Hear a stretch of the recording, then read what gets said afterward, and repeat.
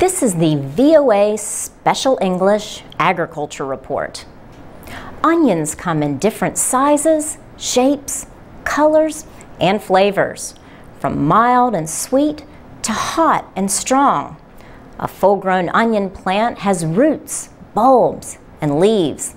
The leaves are long, thin, and hollow. They stand straight up and thicken at the bottom to form a bulb. Onions are biennials. Their life cycle is two years long, but they are usually picked during their first year before flowers form and the bulbs stop growing. Onions grow best in loose, fertile soil. They can grow in many different climates. In cooler climates, onions may need 14 to 15 hours of daylight to start forming bulbs. In warmer climates, onions can begin developing bulbs with fewer hours of sun. Barbara Fick is an agriculture expert with Oregon State University. She says a faster way to grow onions is to plant what are called sets. She says onion sets are actually small plants, so growing them does not take as long.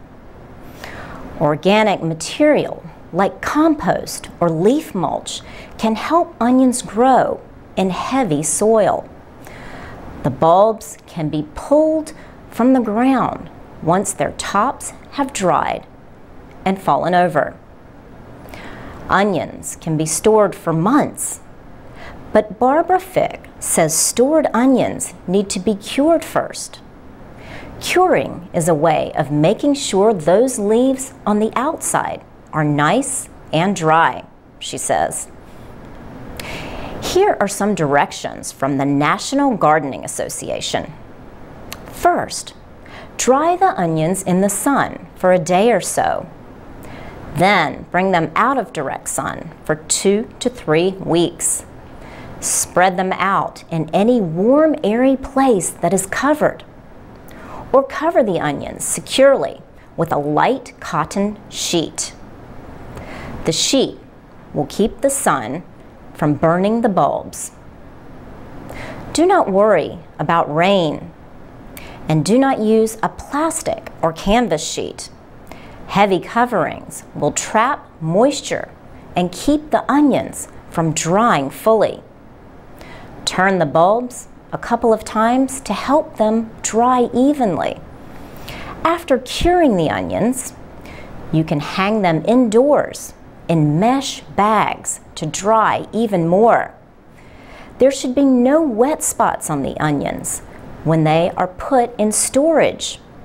The National Gardening Association says the longer onions are cured, the better they will keep. Some people cut off the top leaves before curing onions.